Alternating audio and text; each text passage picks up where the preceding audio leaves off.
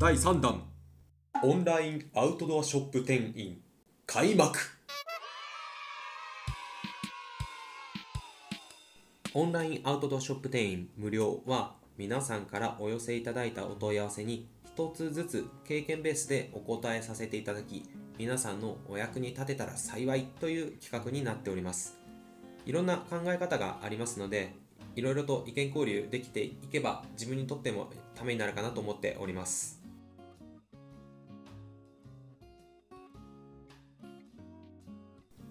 今回アンサーさせていただくお問い合わせ内容は水の運搬ってどうしてますか？ハイドレーション使ってみたけどあんまり合いませんでした。水の運搬のポイントがあったら教えてくださいというものです。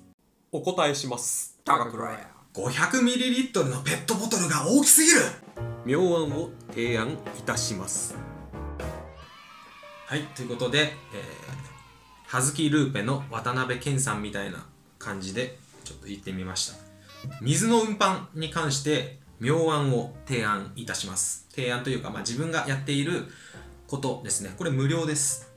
まあ、無料というとちょっと語弊あるかもしれないんですけれども、えー、水の運搬に関してお問い合わせをいただきました。まあ、水の運搬どうしてますか、えー、例えばキャメルバッグですとかプラティパスですとかハイドレーションのものがあったりですとか、こういう 500ml のペットボトルですとか、あとはこういうね、リジッドの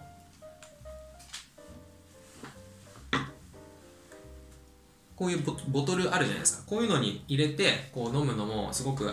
ナルゲンとかキャメルバックとかいろいろありますでこういうのもいいと思いますがやっぱりねボトル状のもの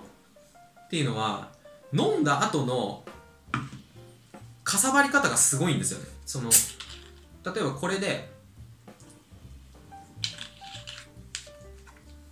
ここの空間これがすっごい邪魔で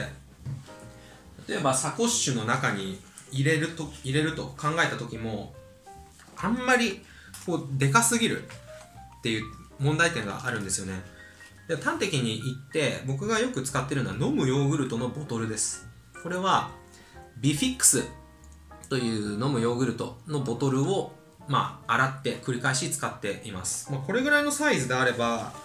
こうパッとサコッシュに入るっていうところですごくこう重宝しているんです。すごくいいですよ。飲むヨーグルトのボトル。飲むヨーグルトを飲んでこのようにね生まれ出たプラスチックっていうかペットボトルのこういう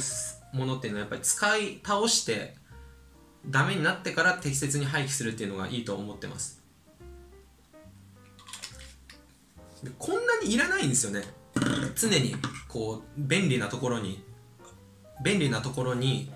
置いておく水の量ってこんなにいらないんですよ。でちょくちょく飲むのはこれぐらいの量をこうちょくちょく飲んで足りなくなったらざっくおろしてちょっと移してっていう感じでやってたりします。海外のトレイルで言うと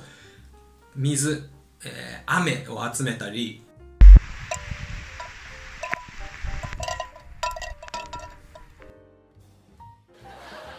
川から汲んだりして浄水して飲んでるのでまあ、地図を読んで水色水色になっているところとかあとは僧帽農房っていうのがあるんです。南向きに歩く人と北向きに歩く人でこうすれ違う時とかにどうだった？あの川。こうすれ違う時に Hello とか言ってあの川どうだった？水濁ってたとか水流れてたとか確認してあの情報交換して、まあ、リアルタイムなねこうやり取りをしてそこで、まあ、水汲めるんだって思ったらちょっと軽量化してそこそこで水汲んでまたやりくりしたりとか。そういうやっぱりコミュニケーションっていうのはすごく大切かなと思ってます。あの登山のルールとかマナーみたいなところでもコミュニケーション大切ですよって話したんですけどやっぱりまあ水水のコミュニケーションも海外のトレイルでは出ますんであのしておいていただくといいかなと思います。あとはハイドレーションシステム。もともとはその手術用のこの点滴システムみたいなやつからこうマラソンとかねレースで合理的に水分補給をするために発達した道具なんですけれどもあれも夏特に使いますね。やっぱりバックパックを下ろさずにこうちょくちょくちょくちょく少量の水分を飲みながら連続的に歩くことができるっていうのは結構合理的な気がします。余分な水分を体に取り入れないのでこう排泄の回数回数も減らせて健康を維持できるヘルシーさを維持できるっていうところで合理的だとは思いますね。で、まあ、僕も一時期使ってたんですけども最近使ってない理由としてはちょっとなんか大げさな感じがしちゃうかなみたいな思想考え方がちょっと変わってきたシンプルじゃないかなみたいなところですかね。あんまりトレイルであんまりその世界のトレイルで使っている人が比較的マイノリティだったっていうところもあってあとはそのホースが出てるところでとんでもないところをやぶこぎすることがあるんですけどそういうの引っかかったりするっていうところでうん。あとはそうですね水を入れた状態でのパッキングの手順がちょっとややこしくなるのと水を入れた状態でそのハイドレーションシステムのやつに水を入れてバックパックの中に荷物を入れていくとあんまりなんかこう高密度パッキングが難しくなるっていうところがあってあすみません救急車通ってますね。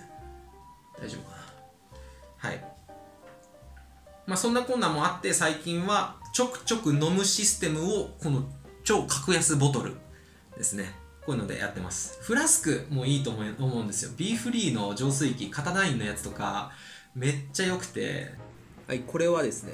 海外の冬山をソロで重走していた時ですね。4日間ぐらい誰とも会わずに B フリーというカタダインの浄水器です。浄水器は本当に速い。ソーヤのソーヤソーヤミニとかよりも浄水スピード速いですしちっちゃくなる。使った後ちっちゃくなるんでいいんですけどフラスクタイプってね高いんですよ。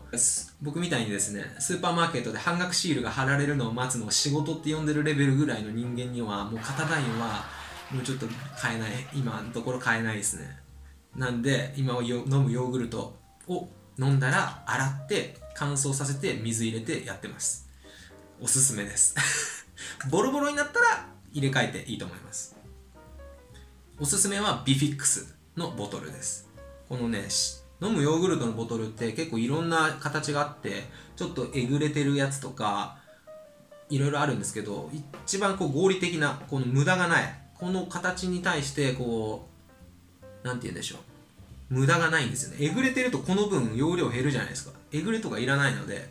あのグリコのビフィックスおすすめでございます。蓋の回転数も多いのでキャンプの時にオリーブオイルとかいろんな調味料を小分けする時にも使ってます。ぜひいかがでしょうか？といった形で今回は水の運搬に関する、お問い合わせで僕が実践していることを紹介させていただきました。こちらの新企画オンラインアウトドアショップ店員無料はですね、えー、皆さんからお問い合わせいただいたアウトドアに関連するお問い合わせについて、まあ、自分の経験ベースですね。あのアウトドアショップ店員時代に得た知識ですとかメーカー本社で学んだアウトドアの歴史ですとかそういった素晴らしさですとかシーズンガイドで習得した技術ですとか世界の山旅で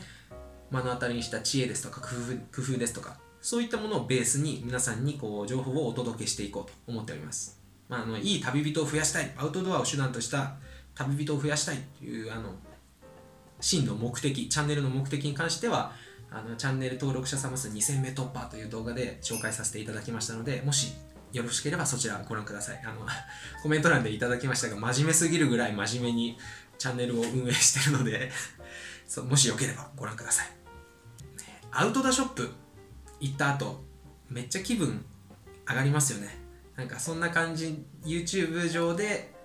このチャンネルがですね皆さんにとってこう気分の上がるようなあ見てよかったなとかこう役に立ったなとかよし山頑張ろうとかっていう風になんかそんな感じになれたらいいなと思ってこちらの企画をやってみました。あのどしどしお問い合わせお待ちしておりますのでよろしくお願いします。それでは皆さん健康第一で楽しく暮らしていきましょう。バイ。